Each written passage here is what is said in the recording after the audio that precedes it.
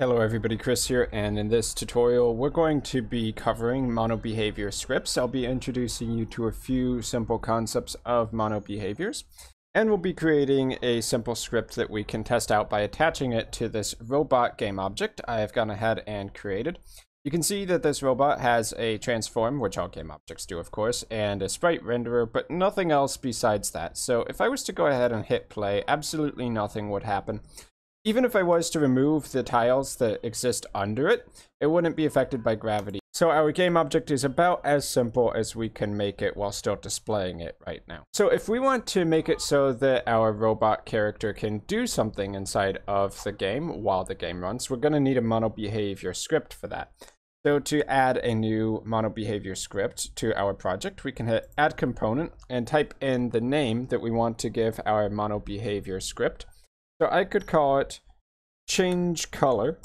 And by doing this, it will create a new C sharp script called change color. By default, this will go in the root folder of our project. I recommend trying to organize things a little bit and putting it in some kind of scripts folder like so. Uh, just because as your game grows, there's going to be a lot of assets, so you kind of want to try to manage things a little better. And I definitely need to clean this up, so uh, let's just delete that for now. Okay, in any case, the script exists inside of our project now, and it is attached to the robot, but it doesn't currently do anything.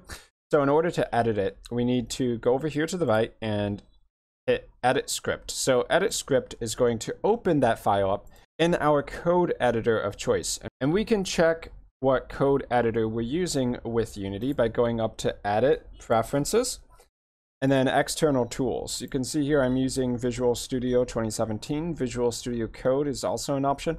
And I, I believe Unity also has uh, Mono Develop. I don't know if that's still standard or not. And Unity used to at least have Mono Develop. I don't know if that's still around, but you can use whichever editor you want. I prefer to go with Visual Studio 2017. So I'm going to go over to the change color component inside of our robot inspector, and I'm going to edit the script. So now that I have Visual Studio opened, we can see what's inside the script file currently.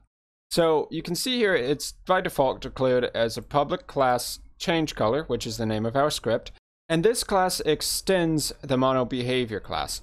So you can see if we ever over mono behavior, it says it's the base class from which every Unity script derives. And that, what that means is that basically if you want anything to occur inside of your game, it's going to need to come, at least at some level, from a mono behavior script. You can create classes that don't inherit from mono behavior, but you're going to need a mono behavior in order to execute anything. And the reason for this is that there are certain lifecycle events that exist within Unity that you need scripts, mono behavior scripts, in order to hook into.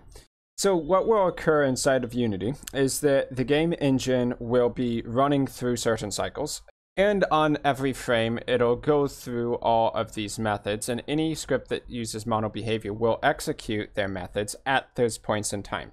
So for instance, update is a method you can implement, and what that'll do is that once per frame, whatever is inside of here is going to be called. So if your game runs 60 frames per second, it's going to be called 60 times in a second.